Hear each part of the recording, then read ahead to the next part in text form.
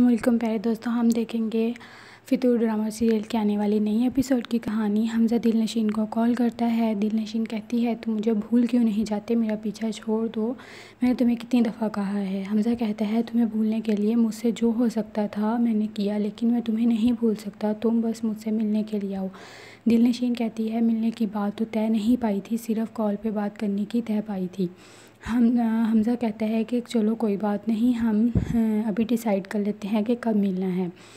हैदर दिल नशीन से कहता है कि तुम्हारा ये जो अफेयर था, इसकी शोहरत तुम्हारे ससुराल में पहुँच सकती है तो इसने तुम्हारे मायके में तो खूब धूम मचाई होगी। दिल नशीन हैदर से कहती है, जितने अजीम आप लोग दिखते थे, ना इतने निकले हो, ना ही आप लोग इतने अजीम हो सकते हो। बहुत ही घटिया सोच है आपकी। अपनी बीवी के ऊपर तहमत लगाते हुए आपको बिल्कुल भी शर्म नहीं आती। एक गैर मर्द के साथ मुझे जोड़ रहे हैं। हैदर कहता है सेम हेयर तुम लोग भी जितने शरीफ लगते थे, इतने निकले नहीं। मेरी भी कोई इज़्ज़त है, लेकिन नहीं। तुमने मेरे बारे में ज़रा नहीं सोचा। मैंने आज तक तुम्हें इतनी इज़्ज़त दी है, लेकिन नहीं। तुम्हें ये रास नहीं आई। वो कहावत सुनी है ना तुमने? बात तो सच है, मगर बात है रसवाई की। तुम्हें इज़्ज़त कभी भी रास नहीं आ सकती। और हैदर अपनी बहन से कहता है कि दिल नशीन बहुत ही घटिया निकली है।